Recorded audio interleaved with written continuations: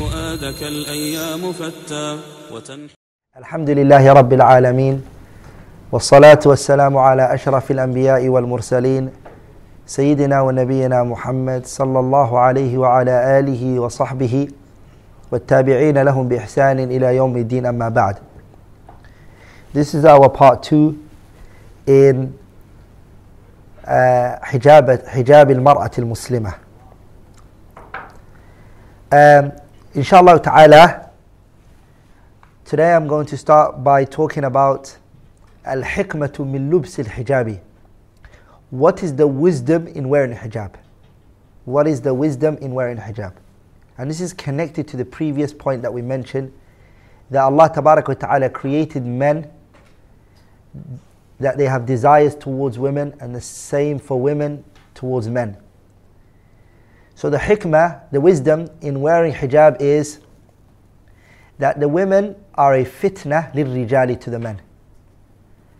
And it's very hard for the men to be patient from withholding their desires from the women. And Allah subhanahu wa ta'ala, who is the one who created the men and the women, He was the one who ordered the women bil ihtijabi amam rijal that they cover themselves in front of the men. Especially the men who are al-ajanib, foreigners, who are not her relatives. Why? لئلا تتعرض للإيذاء.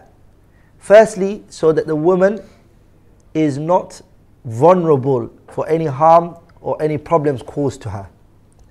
Also, وَلِأَلَّا تُعَرِّضَ الرِّجَالَ لِلْفِتْنَةِ And the second which is that she doesn't also put the men in a position where they fall into fitna and they fall into what فَيَقَعُ فِي سَخَطِ اللَّهِ and they fall into the ish anger of Allah tabaraka wa ta'ala.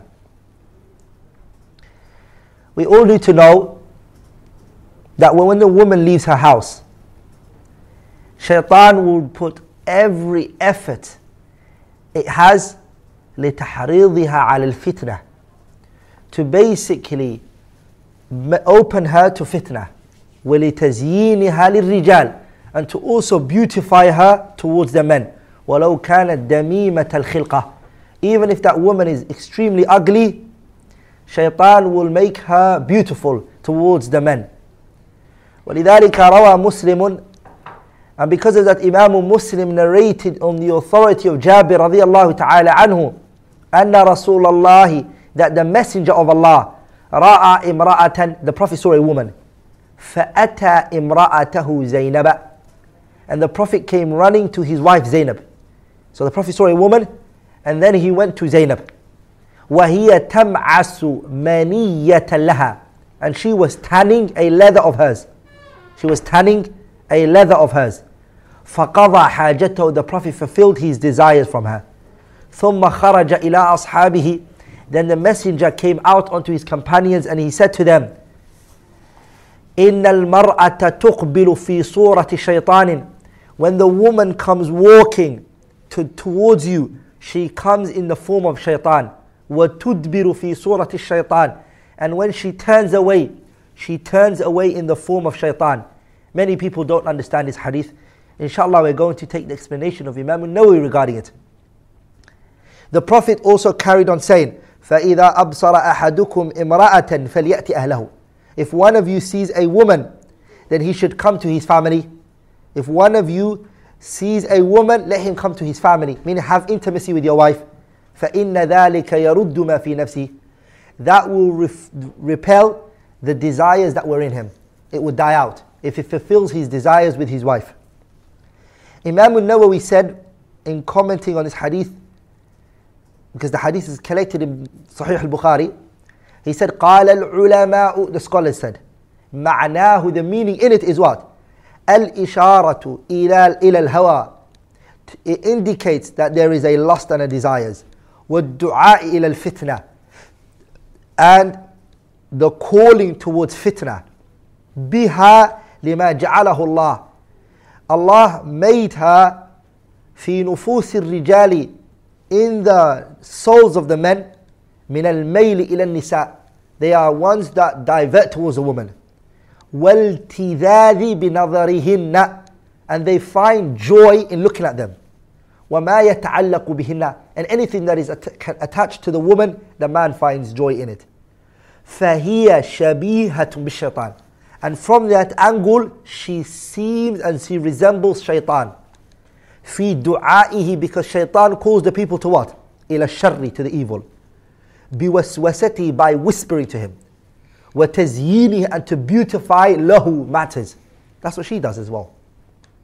ويستنبط من هذا and from this it is taken out Nawawi saying أنه ينبغي that it's required لها for the woman ألا تخرج من- ألا تخرج بين الرجال إلا لضرورة that the woman doesn't come out in front of the men meaning outer, uh, outside her house except when there's a necessity وأنه ينبغي للرجل and it's also required from the man الغض عن ثيابها that the man he lowers his gaze from even looking at her clothing and at her والإعراض عنها مطلقا and that the man turns away from the woman unrestricted انتهى كلامه the speech of Nawawi finishes there if the woman is wearing a hijab which is the hijab legislated by the sharia فقد قطعت الش- على الشيطان السبيل إلى إغوائه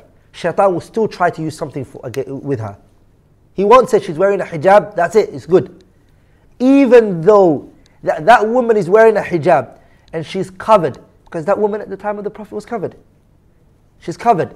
Shaitan will still use her in misguiding the children of Adam. And he would use two means. مرة in one way بحفظ نفسها uh, sorry, sorry, two ways. The first one is by beautifying herself, even if she isn't. She will seem attractive to the eyes of the person. The second which she does is what? She will what? She will increase his desires and his lust. Naam.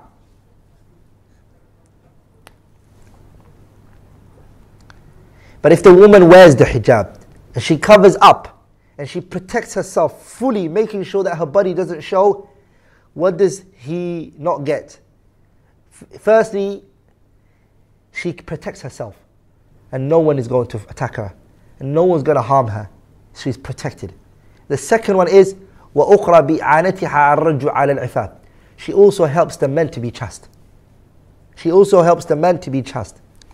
And shaitan will use every means which he is able to uh, by misguiding the woman and also misguiding others on her hand.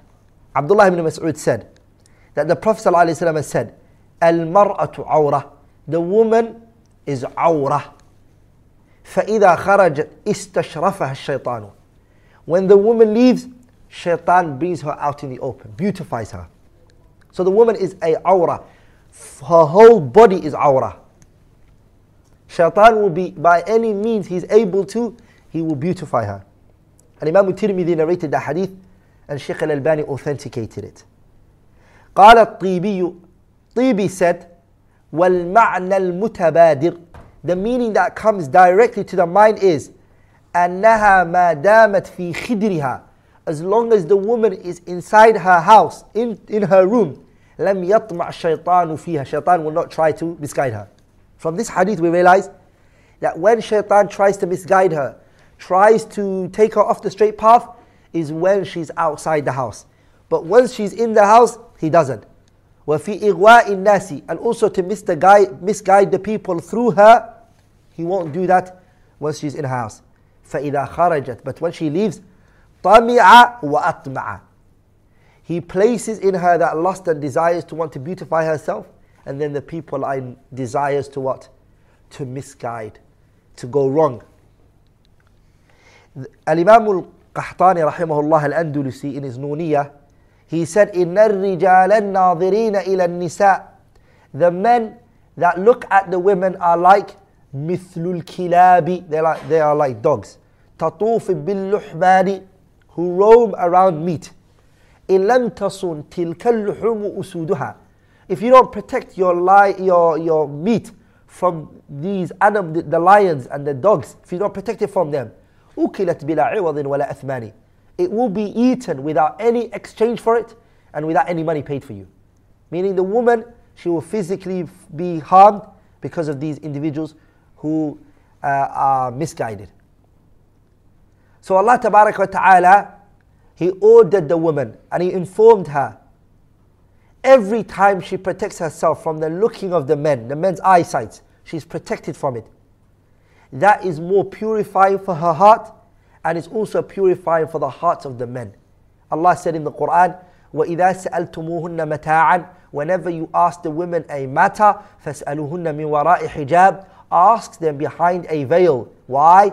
ذَلِكُمْ أَطْهَرُ لِقُلُوبِكُمْ وَقُلُوبِهِنَّ Because that is more purifying for your hearts and their hearts. So, the women being covered and protected and not far from the men's eyesight is a purification for her own heart and for the hearts of the men. That ayah, that's Sur- Surah Al-Ahzab, ayah 53. Nowadays we find this contradicting statement from many people who are mutahawinat fil hijab, who take the matter of hijab very lightly, who don't take it very serious. And they claim this claim which is, our heart are, are pure. The hearts of us are good. Ah. The outer doesn't really matter. What really matters is the heart. And our hearts are very beautiful. Those people contradict themselves because it's those same people you see who wear, who wear makeup, who beautify themselves, who put extension on their hair, who wear so much makeup and spend hours in front of the mirror. Those people, if the outer appearance doesn't really matter, then sister, why are you spending so much hours in front of a mirror? Why are you uh, uh, putting this stuff on your face that it's even hard for you to even smile because it's so heavy, the stuff that you have put on your face, and the s- clothing that you're wearing. So the, the, an- the issue isn't here the claim that she claims, but it's shaitan who has beautified it for her. The next point that I wanted to also mention, which is al-libasu ni'mah. Clothing is a blessing from Allah. And Allah tabarak wa ta'ala خلق الله آدم في أحسن تقويم. Allah created Adam in the best of forms. وزينه بأكمل زينة. And Allah beautified him in the best way of وَلَمْ يَكُلْ لَهُ فِي جِسْمِهِ عَوْرَةٌ Adam alayhi salam on his body, Allah did not, he did not make on it awrah that showed. فَلَمَّا but when he ate, هو وزوجه he and his wife من الشجرة the tree التي نهاهم الله that which Allah prohibited عنها ربما انكشف عورتهما some of their awrah showed. فاحتاجا حينئذ إلى الستر. So they both wanted to cover themselves up. وكذلك تفعل الذنوب. And like that the sin does. Like that the sin does. قال تعالى Allah says فلما ذاق الشجرة بدت لهما سوآتهما وطفقا يخفض وطفقا يخصفان عليهما من ورق الجنة وناداهما ربهما ألم أنهكما عن تلكما الشجرة وأقل لكما إن الشيطان لكما عدو مبين Allah says فلما ذاقا when Adam and Hawa both tasted from the tree which they were prohibited from بدت it became apparent لهما سوآتهما their aurah became apparent وطفقا يخصفان عليهما من ورق الجنة and so they went out to pick from the leaves of the trees to cover their awrah. وَنَادَاهُمَا رَبُّهُمَا And Allah called out to them, أَلَمْ أَنْهَكُمَا Did I not prohibit both of you? عَنْ تِلْكُمَا الشَّجَرَةِ Did I not prohibit you from that Jannah? وَأَقُلْ لَكُمَا And did I not say to you both, إِنَّ الشَّيْطَانَ لَكُمَا عَدُوٌ مُبِينٌ That shaitan is a clear-cut enemy of yours?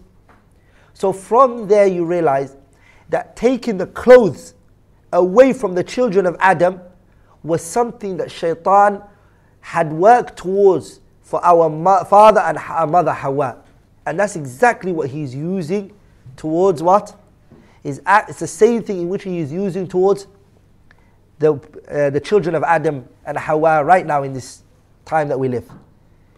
the clothing that we're wearing, it's a blessing from Allah.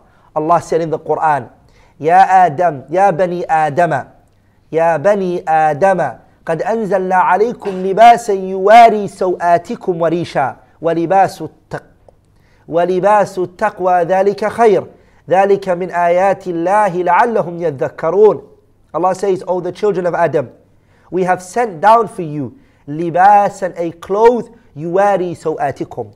Clothes which you cover your private parts with.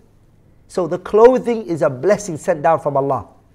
That was Surah Al-A'raf, ayah 26. Surah Al-Nahl, ayah 80 to ayah 81, Allah says, وَجَعَلَ لَكُمْ سَرَابِيلَ تَقِيكُمُ الْحَرَّ وَسَرَابِيلَ تَقِيكُمْ بَأْسَكُمْ كَذَلِكَ يُتِمُّ نِعْمَتَهُ عَلَيْكُمْ لَعَلَّكُمْ تُسْلِمُونَ Allah made clothing for us. Some that which we wear in summer, some that which we wear in winter. Allah has made different clothing, subhanahu wa ta'ala. After Allah has said that, Allah says, and like that do I complete my blessings on you, so you may surrender. So this has shown us that the clothing is a blessing from Allah tabaraka wa ta'ala. And the Messenger sallallahu alaihi wasallam from his guidance was he used to praise Allah for the new clothes which he would wear. He would praise Allah for it. Abi Sa'id al-Khudri narrated that the Messenger sallallahu alaihi wasallam كان رسول الله the Messenger was one إذا استجد ثوبا that if he bought a new clothing سماه باسمه عمامة أو قميصا أو رداء he would mention the name of Allah تبارك وتعالى in it whether it's, it was a turban whether it's a qamis whether it's a rida uh, upper garment doesn't matter he would say اللهم لك الحمد أنت كسوتنيه Oh Allah praises to you You're the one who clothed me أسألك خيره Oh Allah I ask you it's good وخير ما صنع له and the good that which it was made for وأعوذ بك Oh Allah I seek refuge من شره it's evil وشر ما صنع له and the evil that which it was made for Abi Dawud and Tirmidhi narrated it بسند صحيح So the Prophet used to what? He used to mention the name of Allah in it because it was a blessing from Allah. The same way that if a person uh, wants to eat food, that he can't eat that food which he wants, except what? Except that he praises Allah in it. He praises what? Allah subhanahu wa ta'ala. And that he can only eat that which is made permissible for him and the person is not allowed to wear the clothing in which he wants, except that which is made halal for him. فإنه لا يلبس فإنه لا يلبس مما يشتهيه من اللباس. You can't just wear any clothes you want, except that which that which إلا ما أحله الله له, except that which Allah made halal for you. And that is what? وذلك من تمام العبودية لله. Because this is servitude. You can't wear what you want. You can't eat what you want. You can't act the way you want. You're a slave. You're told what to do. All through your life, you're, you're told what you're, you're, you're allowed to do.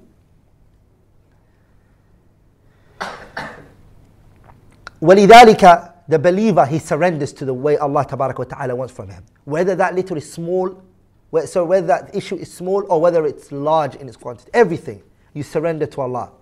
Imam Ahmad narrated بإسناد صحيح a chain of narration which is authentic عن ابن عمر from Abdullah ibn Umar قال Abdullah ibn Umar said دخلت على النبي Abdullah ibn Umar said I entered onto the Prophet وعلي إزار يتقعقع and I had a garment which was dragging the izar is the lower garment it was pulling فقال the, Abdullah, the Prophet said to Abdullah ibn Umar من هذا who is this person قلت I said Abdullah ibn Umar it's Abdullah ibn Umar, a messenger of Allah. قال, the Prophet said to me, إن كنت عبد الله, if you are Abdullah, فارفع إزارك. Take up your garment. Your izar, put it up. Ha, your longi, put it up. فرفعت إزاري. I, I pulled it up إلى نصف الساقين until I reached half my shin. فلم تزل إزار فلم تزل إزرته حتى مات. Abdullah ibn Umar, his izar was always to that place. He never went below that until he died. That is how the believer is. His clothing, when he is told what to wear until he dies, he dresses that way. And he doesn't change it. Change it. The mar'atul muslima, the believing woman, she, praise, she praises and thanks Allah wa ta'ala who permitted for her to wear these beautiful clothes. And these are from the blessings which we are unable to put a figure and an amount to it. And she also takes Allah's command by making sure she wears what He has told her to wear and how He has told her to wear it, subhanahu wa ta'ala. When you came out of the stomach and the womb of your mother, you did not come out except with the will of Allah. Now that you are alive and that you are living this world, let the command of Allah be the one that governs you. And do not say, I want this. No one consulted you whether you should be a boy or a girl, when you were, what time you should be brought into this world, when you're going to be taken out of this world. No one consulted you. The same way is no one is going to consult you in what you can wear. You're a slave and a servant, and you follow the command of your master, Allah subhanahu wa ta'ala.